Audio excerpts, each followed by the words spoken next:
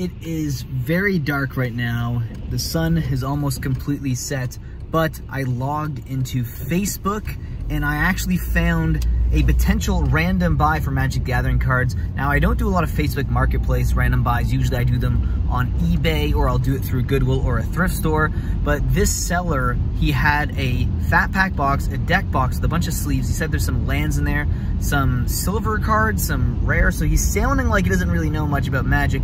And with that small lot, there is a big probability that there isn't going to be anything there. However, I thought it would be interesting as an experiment to show the viewers, like you guys, whether or not it's actually worth it to go pick up these little small buys on Facebook Marketplace. He didn't show any of the actual cards, just the tops. He showed some dice too, and actually the dice, it looked like there's maybe about eight or nine D20s, and they will actually sell for around a dollar each on eBay, so you can actually sell those in lots, and those could potentially get all my money back. He said $15 for this lot, and that's what we're intending to pay. I'm not gonna look at any of the cards when I get them. I'm gonna bring them back into the car. We're gonna go home. We're gonna take a look at all the cards that were in here. It sounded like there's a little over 30 cards or so. So very small lot, but maybe it's gonna be profitable. I don't know, $15. It's a little bit of a gamble, but not that expensive. Let's take a look. Hi, Matthew. Hey, yeah, How's it going? not too bad. Wanna take a look? Sure, I'll take a look quick. Not the nicest weather. Thanks for Yeah. driving. Yeah, no problem. The dice are there, the sleeves, the cards that I mentioned, the silvers. I, I don't Yeah. know it. Uh, The cards are, Magic yeah. Too well. I got Yeah. those along with some Pokemon cards from a friend to sell. So Oh, no, no worries. Cool. all good. All right, thanks, man. Thank you so Take much. care. Take care. You too. Okay, here it is. The bundle box, the fat pack box here. Very nice. I don't know when this is. Oh, there you go. says it right there. Core Set 2012.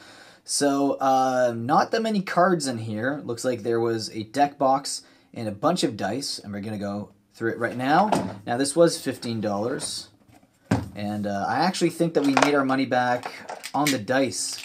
Really, well, fifteen ninety five for this dice here. This is made by Chessex, I believe. Yeah, it's a pretty decent dice maker. And we actually have quite a few spin downs here. And spin downs, you can actually sell them on eBay.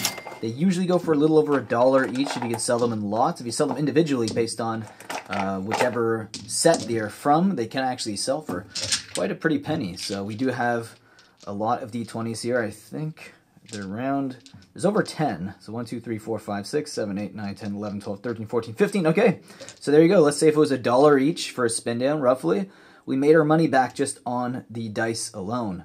So yeah, that might be something you guys don't realize, but spin down dice actually do sell pretty well on eBay. So uh, Gatecrash, that's a good set here. Let's see, what's the oldest set? We have Ixalan, we got Aether Revolt, Rivals of Ixalan, we got another Amonkhet one here, another Ixalan one. That is pretty cool. Oh wow, look at this. There you go, it's pretty old. Magic 2012. Now that's a throwback. I guess this is the dice that came with this fat pack back in the day when they called them fat packs. Okay, and we have some other dice here. Six-sided dice. Not too bad. Put that aside as well. But what we really came for was this deck box. What's actually going to be inside here? Okay, so these deck boxes, they're not really worth much. These are the, the Ultra Pro ones. You can find them at dollar stores. Uh, so we got some interesting sleeves here. I don't think there's 60, so it won't be enough for a deck. Um, oh, there's one more here. Oof, it's bent, bent out of shape. All right, wow. Okay, so we got Incendiary Flow. Uh, I think this is one of the FNM promos. It's from 2017, so definitely a throwback there. I think this is from Eldritch Moon, originally this card. And then we get a Profane Procession from Rivals Ixalan. Don't think that's over a dollar. We got another rare here, Paladin of Atonement from Rivals of Ixalan as well, a Vampire Knight. And we get a Baffling End, Rivals of Ixalan as well. Sky Terror, Forerunner of the Empire, Pillar of Origins, that's actually a decent uncommon.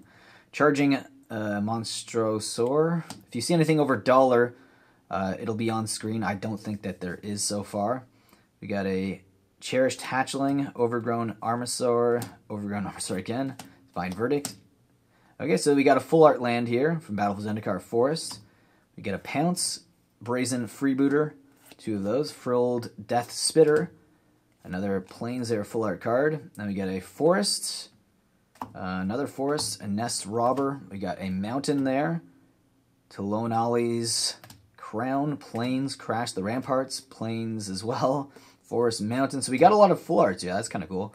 Um, too bad they're probably only work, worth like 20 cents each. Aggressive Urge, another mountain. Prying Blade, Forest Swamp, Forest Mountain. Looks like we've got some tokens here. Treasure tokens. Uh, Saproling token, Soldier token from Dominaria. Another two Saprolings from Dominaria as well. We got some more tokens here. Zombie Knight, that's actually kind of cool. Still don't think it's over a dollar though. Dinosaur token, Merfolk token, another dino. Two saprolings, a treasure token. Okay. And then we get a last little bit of cards here. A Raptor Companion. Another Plains full art. Another Plains full art. Another Forest full art. And a Swampy to end things off here. So all in all, I don't know. What do you guys think?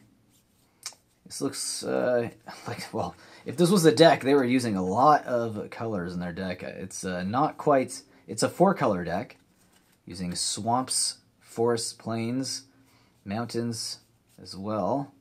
Yeah, you know, I don't know if this was a deck. If it was a deck, where's, they have swamps in here, but I didn't, unless I'm missing something. Did you guys see anything black in here? I didn't see anything black.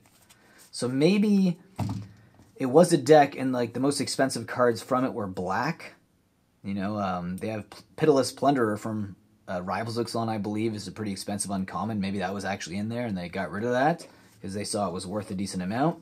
I don't know. But yeah, I mean, even though it was $15, I think they were just kind of discounting that these might have been worth some money, which you can get your money back on that dice.